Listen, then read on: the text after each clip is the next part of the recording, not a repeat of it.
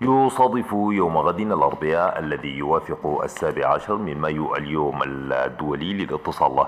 وفي هذا الإطار قدم وزير البسطة وتكنولوجيا الاتصال الحديث محمد الله الطاهر بيانا صحفيا. تحدث فيه أن هذا اليوم في تطوير الاتصالات. نتابع جزء من بيان الوزير بترجمة الزميل هارون أبا Chaque année, le 17 mai, c'est la journée mondiale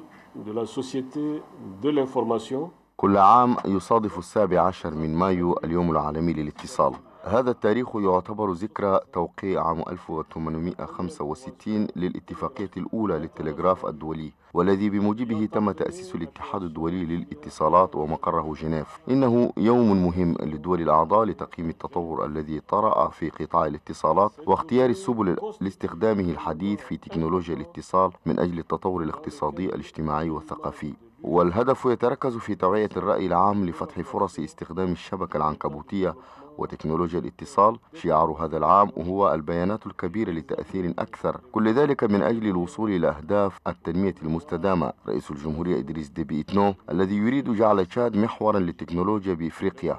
هذا لا يأتي إلا باستحداث البلاد والتكنولوجيا فرصة لتنمية البلاد ولا يمكن الاستهانة بها وقد نفذت مشاريع عديدة في هذا المجال ومن ذلك نغتنم الفرصة لنشكر الاتحاد الدولي للاتصالات لدعمه للبلاد وللشركاء في قطاع الاتصالات نشجعهم بتكثيف الجهد.